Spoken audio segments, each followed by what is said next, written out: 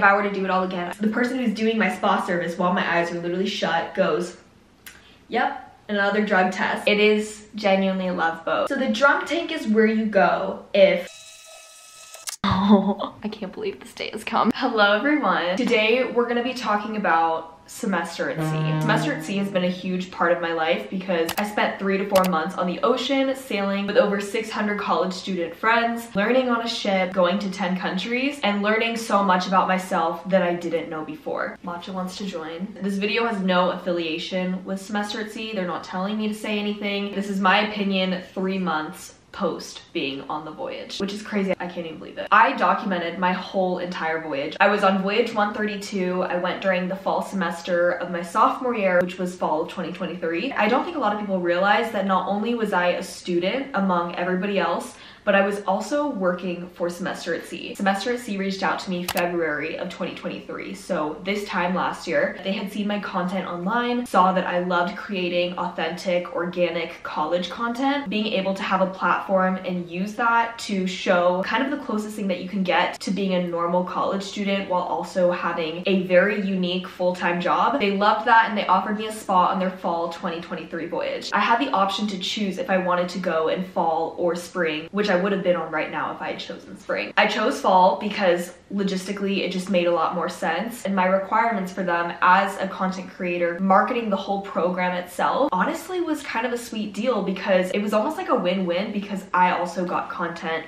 that I could make for my channel that you just don't really see anywhere else. This is my overall general experience. Never in my life have I seen 600 plus students unplug off of Wi-Fi and connect with each other. Playing board games, pulling all-nighters with your best friends, all while being in a confined ship was the best time of my life. And I just want to put out there because some people will have questions like how could you upload if you were on the ship and you didn't have Wi-Fi? Because I was working for Semester at Sea, they gave me unlimited Wi-Fi. So I could access the internet at any point of the day. And I recognize that that was completely different from every other student. Every other student had seven minutes of Wi-Fi per day and you could buy packages where you could get more, but because they needed me to upload videos from the middle of the ocean, I needed Wi-Fi to do that. Looking back, I can truly say that I was able to be fully present with my best friends while also having this opportunity to have Wi-Fi. Once you realize that nobody else is on their phone, you don't really want to be on it either. It was one of the most incredible things that I probably will never see again with that many students not being glued to their phone. Obviously being able to roll out of bed, wake up and walk outside to look at the ocean. Oh my gosh, I've never fallen in love with the ocean more in my life. I honestly used to be a little bit scared of it. After sailing the world, crossing the equator, working out with the view of dolphins jumping, I just have so much love for the ocean. Something that no one really tells you about, time is so freaking weird living on a ship. I've never taken so many naps in my life. I was never a big nap girl until I went on semester at sea. And I think part of that is because you have these scheduled meal times. So you eat three meals a day within a certain window. And even though the ship is pretty big, you just don't have that big of a space to walk. So sometimes I did find myself feeling almost like a vegetable because you just eat, go to school, nap, and then you, you take a lot of naps. Now that I'm off the ship, days fly by. But when I was on the ship, one singular day felt incredibly long. But now looking back, they all kind of blended together. So time is just a really weird thing when you're living on the ocean. Everybody seems to want to know about academics and how that worked.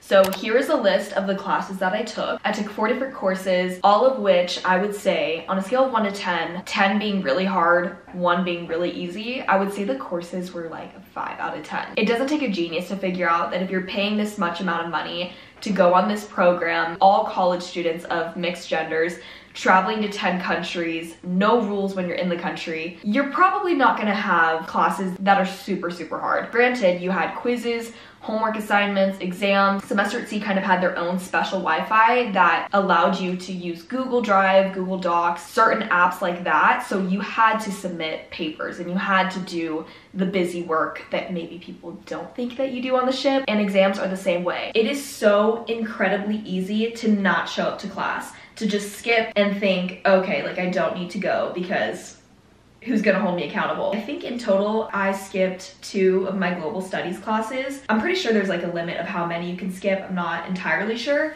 but it really is not that hard to just show up you just roll out of bed, walk up one flight of stairs, maybe two, and then sit in your class. Also, going back to the topic of time, military time is used throughout the whole entire voyage. So if you're going on any future voyages, I would 100% recommend switching your phone to military time. That took me about two weeks to figure out, but instead of two o'clock, it's 1400. Instead of five o'clock, it's 1700. Every single thing runs on military time. I've always been the type of girl that tries to bond with my professors, not in a pick me way, but just appreciating the fact that they show up and take time to teach us. So I always introduce myself on the first day of any class and tell them, you know, I'm looking forward to your class. Thank you for being here, whatever. You become best friends with your professors because the professors that go on semester at sea are not like your typical professors back at your home university. You eat meals with them. I had meals with two of my professors and I still am in contact with them after the voyage. That was so cool and I don't think I'm ever gonna have that experience again. Also, something that I will never get to do again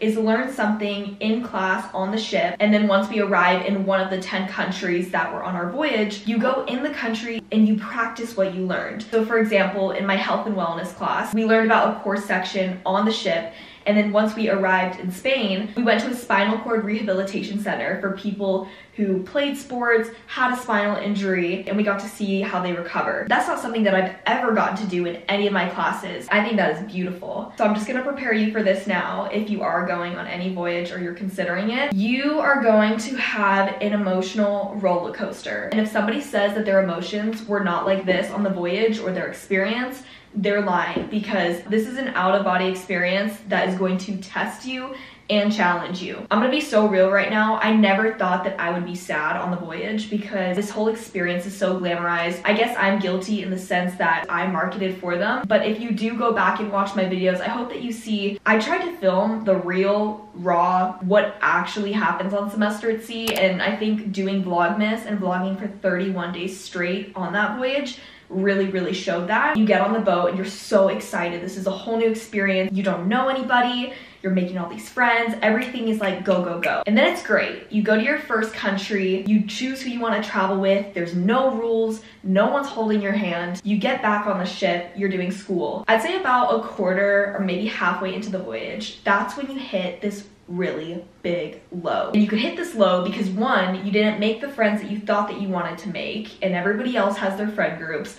There are clicks, by the way, that is a thing. Two, everybody's falling in love. There's all these romances. I don't know, maybe you're experiencing a little bit of a, a stab in the heart because somebody likes somebody else, whatever. And then a big one is you just miss comfortability and you miss the normal routine that you had back wherever you were from. Something that I was so guilty of was I kept comparing not my friendships on semester sea, but things that I would do in my normal routine. Yes, there was a gym on the boat, but some days you just don't want to work out and you don't have the motivation that you might have if you were back in your college town on land. And it is hard. It's definitely a mental thing. I didn't think that I was going to feel it, but I definitely did. Another thing that I am going to talk about is food and eating. So if this is something that is sensitive, please do not keep watching. I definitely experienced a lot, a lot of body dysmorphia on semester at sea. And solely the reason why was because you are constantly eating on a ship. And like I mentioned earlier, I love going on walks on the greenbelt here in Boise. You can't do that. The food is not super healthy. It's cruise food. All you can eat buffet. And every single meal has cake yeah, there's always a sweet and I have the biggest sweet tooth of all. So I couldn't say no to a lot of things. Some days I felt just absolutely horrible waking up. If you go on any other regular cruise, you may find that you come back home with a little bit of extra weight. Coming back home for Christmas break, I was so hard on myself because I was not what I looked like when I first got on the ship. Maybe other people couldn't see that, but it was an internal thing that I knew. And so that is something that I just wanted to be transparent about. But you know what? I don't regret anything that I ate on that ship because low-key it was actually kind of good. Um, i had my expectations low though. I was expecting the food to be so bad. So many people were saying that it was not good from previous voyages. I'm gonna say it was like a 7 out of 10 to be honest. There was a lot of options. You could always go to the grill and pay three dollars for like a burger or a salad if you just didn't want to eat what they made. One thing you can always count on is there's pasta at every single meal. I remember they had chicken parm and that was my favorite meal on the ship. And i would get so excited. I'd tell my friends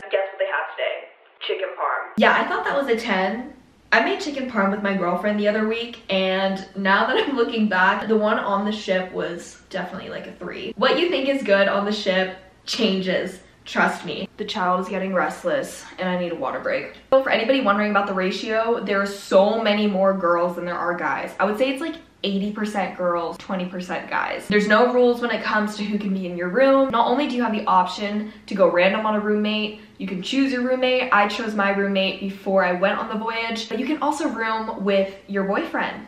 So there were a lot of couples that went on the ship. It was really awkward and I felt horrible when some of them did not work out. It is genuinely a love boat and some of the stories, man, I said this before in one of my videos when I came back to Boise. not judging anybody, but personally, I am not a number. I will not be a number. I wanted to leave this whole experience truly and genuinely saying that I did it for me and not for anybody else. And something that I did see that honestly kind of broke my heart was people that put their all and only focused on a relationship, only for it not to work out in the end. And then all of their memories are attached to that relationship or situationship on the boat. Now that I've left semester at sea, I can truly say that everything that you think is so important in the moment and on the ship means nothing or it's just so insignificant. The stories and petty drama and he said, she said, whatever, mind boggling. As much as my experience was a 10 out of 10 on semester at sea, it's not a realistic thing to do school on a ship and then go into beautiful countries like Greece and Spain and Malta, spend hundreds, thousands of dollars if you can, only to go back on the ship, sail to a new continent like Asia,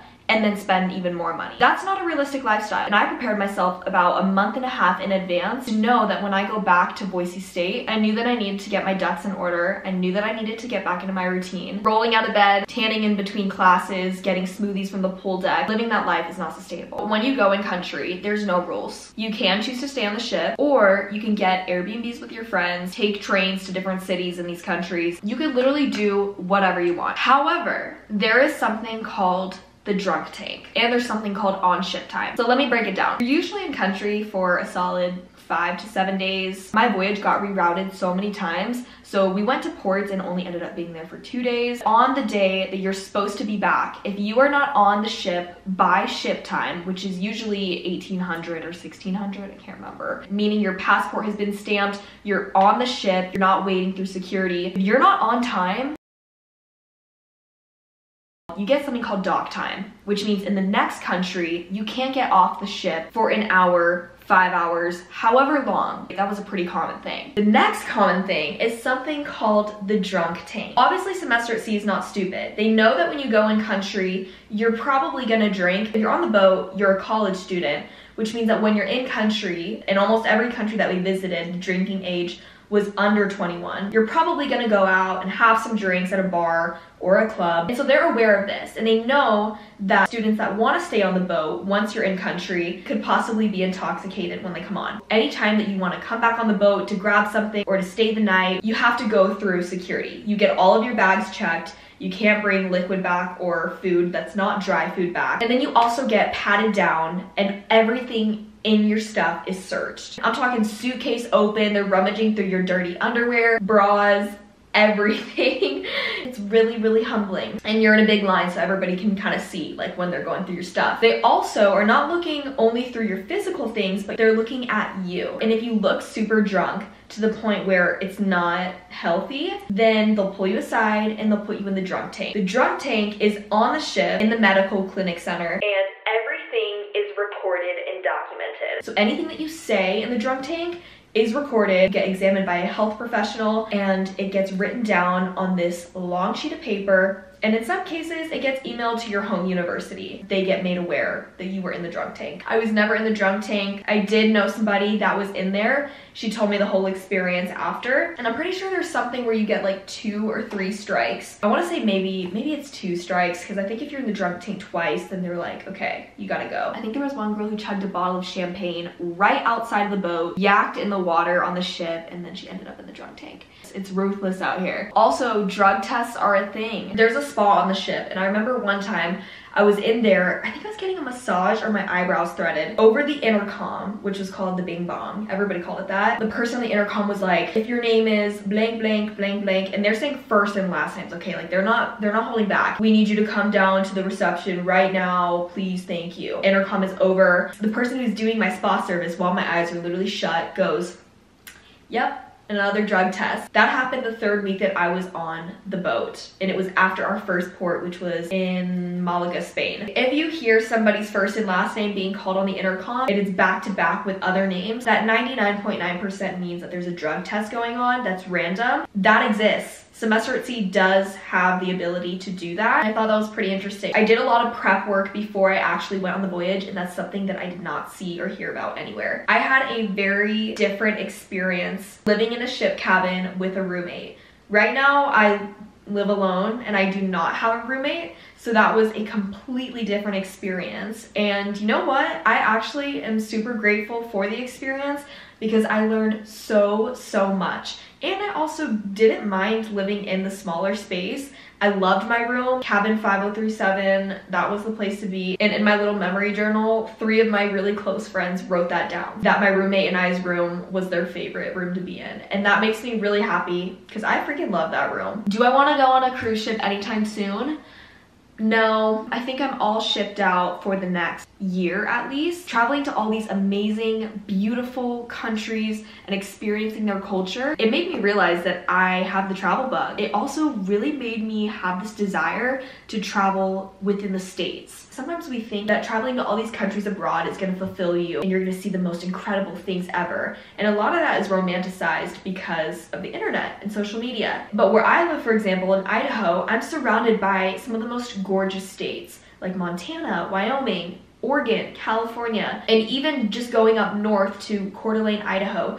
That's something that I really, really want to do. It, it doesn't take a plane to get there. It doesn't take a crap ton of money. It just takes my car, obviously my dog who's in my lap, and an itinerary, and I could see just as beautiful things. The whole experience overall, I could write a whole movie about it. My friendships that I made, I'm gonna cherish for the rest of my life. They're gonna be at my wedding. I think if you're considering doing any study abroad program, I would 100,000 million cajillion percent recommend going on semester at sea. It's a once in a lifetime experience and you really get you get it all. You get the full package. Not only are you studying abroad in one place, you're studying abroad in 10 places, plus the whole entire ocean. I think that's all for today's video. I'm probably gonna edit this and realize, oh my gosh, I missed this huge important thing. If you guys are seriously interested in Semester at Sea, I have so many videos on my channel. You can get the whole rundown of Semester at Sea just by watching probably 50 plus videos that I did. I also documented a lot my TikTok and my Instagram, so feel free to go follow those. I cannot thank Semester at Sea enough for giving me the privilege and opportunity to be on Voyage 132 with them. It was amazing. If I were to do it all again, I would not change a thing. So thanks for being here and clicking on this video. Subscribe, stick around, and I will see y'all in the next video. Ciao! Just a cup is all I need. I can close my eyes and breathe. A song in good conversations tastes just like medicine all of the parts